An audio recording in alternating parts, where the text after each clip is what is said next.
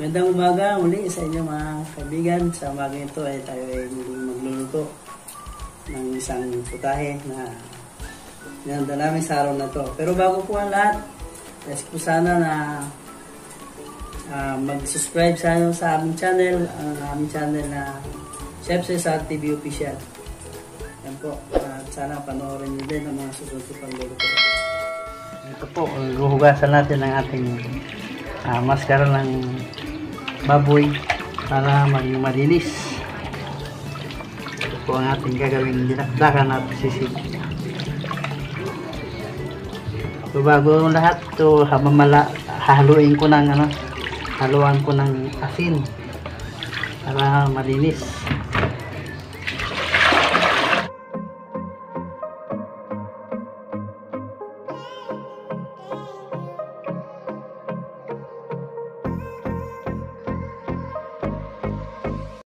Po yan, malinis na. Pwede na po natin siyang ilaga.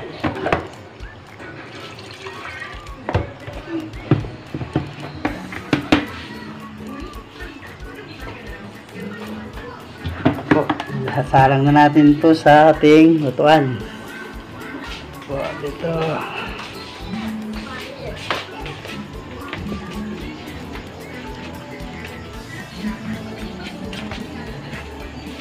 Natin sa ilalaga. Para tumambot.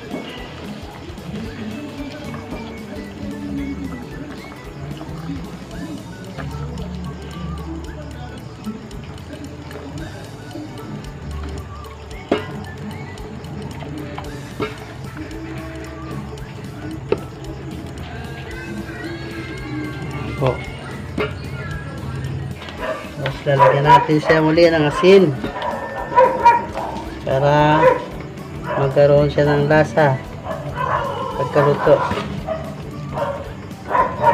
Natin ng paminta.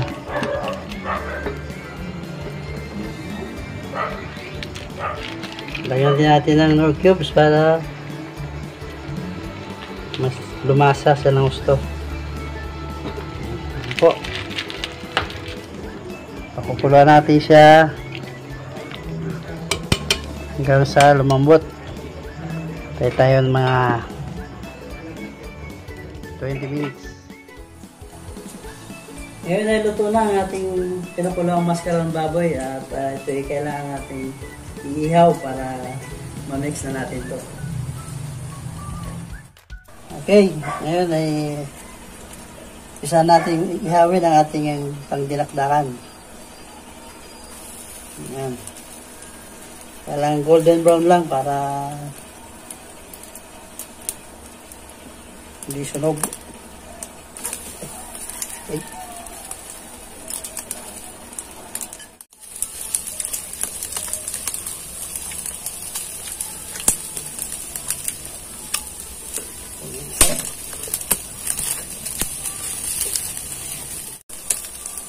Okay, ito, luto na isa. Ano natin to. Ito rin ang isa. Ito na rin.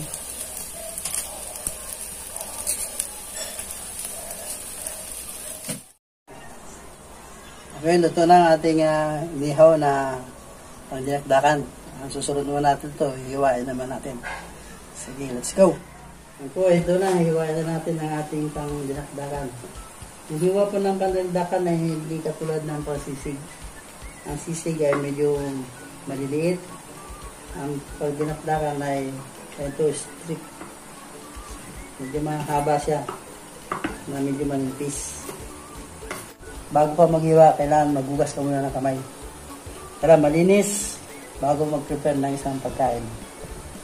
Ayan po, ang ating paghihiwa ay ganito. Medyo maninipis siya na medyo mahaba ang ating pagkakahiwa.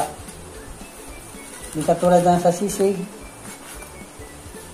na medyo maliliit lang ang pagkakahiwa. Ito medyo mahaba siya na manipis. Ayan.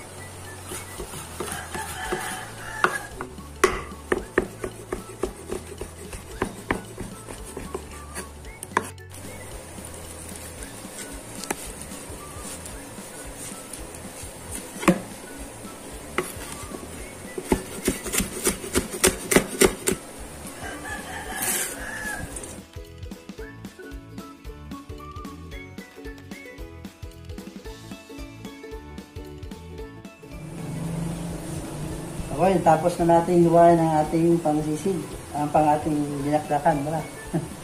ang maskara ng baboy. At ah, isusunod na natin dito ang ating mga panghalo.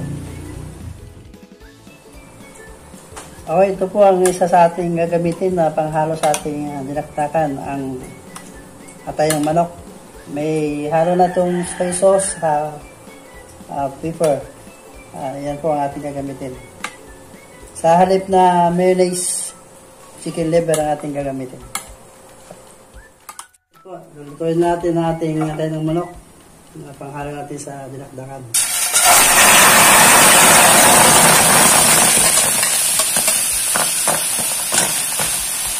Wala na natin ito hanggang sa matuyo. Yan, okay na yan.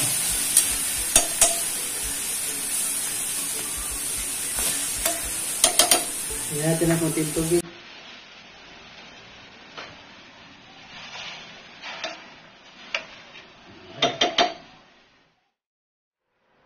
Ito, iwanan na natin ating mga pangsahog. Ang sibuyas, luya at sili. Hindi kalamansi. Ito lang po, hindi kailangan maliliit ang slice.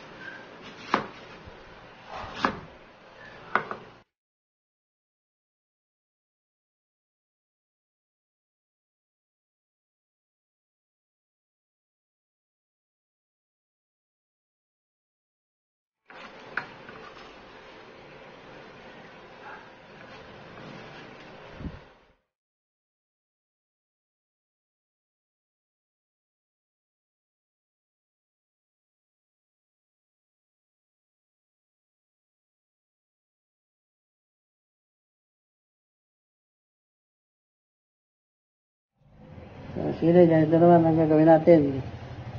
Iyakin natin para matanggal ang buto.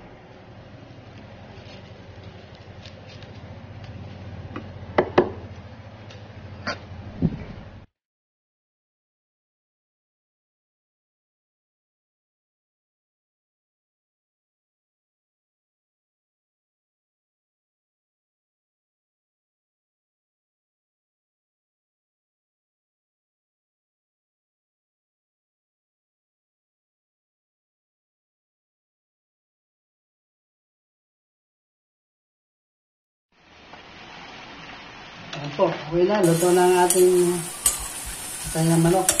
Mix natin sa ating maslaka. Ayan, na to. Salamat. Okay, hiwain na natin ang atay. Uh, mix natin to. Ah, ito ang magiging magsiserve niya ang palapot dyan sa ating luto. Kailangan kanta rin sa pino. Tulad ito.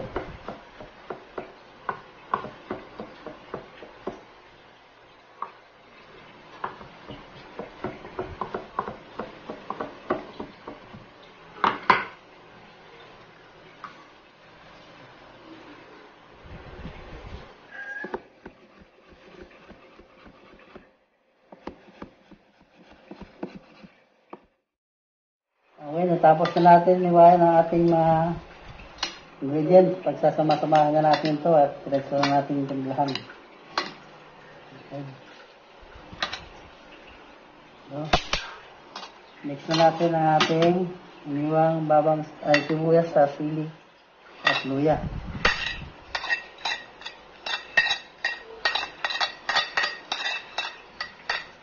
Okay.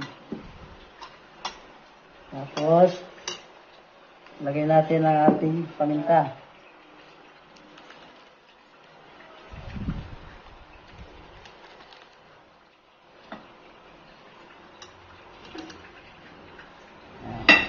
Lagyan natin ang kalamansi. Ito.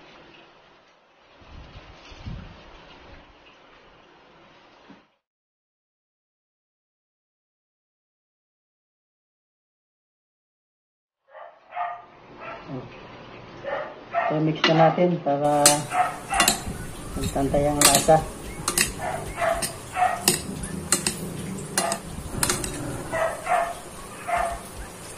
Lagyan natin ng konting soy sauce. Mga dalawang kutsarang soy sauce.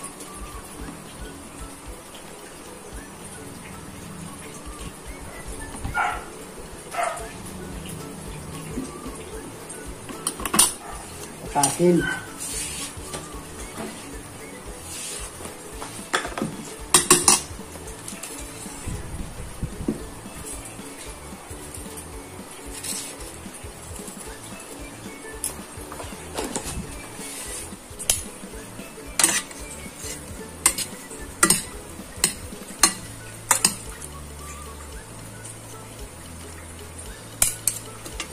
ito. Luto na ang laklakan. Yan na po.